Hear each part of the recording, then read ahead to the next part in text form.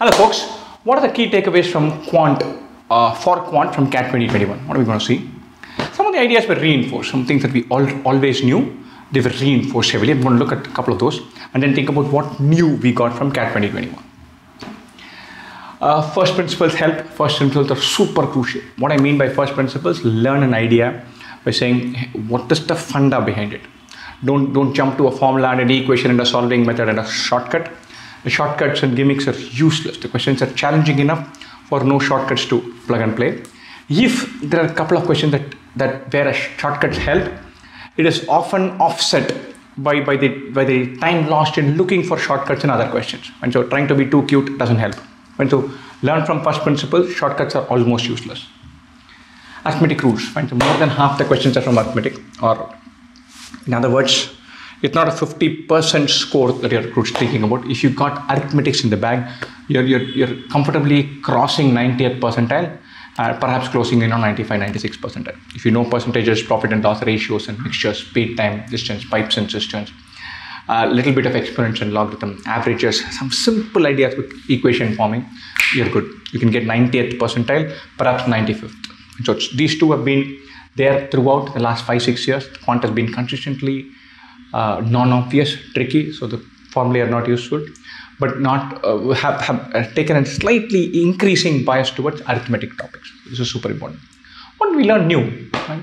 combine topics that's become a play it's very important so there's always a question that involves percentages and mixtures so something that involves ratios and pipes and cisterns so that they're, they're putting topics together in a way that it is non-obvious. Where you'll have to figure out something plug it into another framework and then solve an equation. So it is important to uh, solve questions that straddle topics.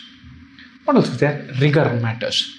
The solving component this year was significantly tougher. Every year in CAT there are a bunch of questions where you look at it and say, okay, I'll try 16, 20, 22, one of these will work, I'll plug it in and then get to the answer. This time it did not work. Integer substitutions did not work for a couple of questions. I lost time in them. And then the answer turns out to be an integer, but the two individual components are not integers. It's like adding a 10 by 3 and 8 by 3 to get 6. And there were questions that were like that where they said, look, you know the method, plug in, solve the quadratic, get to the answer, then come back here. Don't try to be too cute.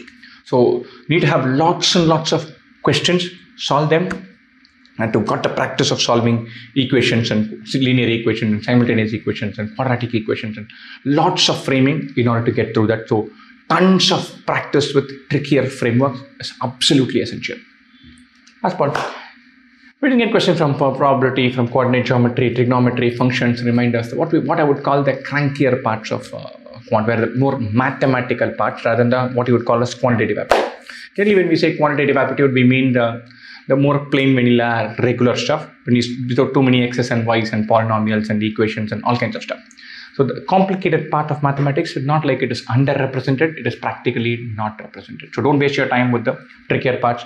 Learn arithmetic well, do tons of questions that straddle topics, learn from first principles and, and, and build in rigor should be good to go. Best wishes.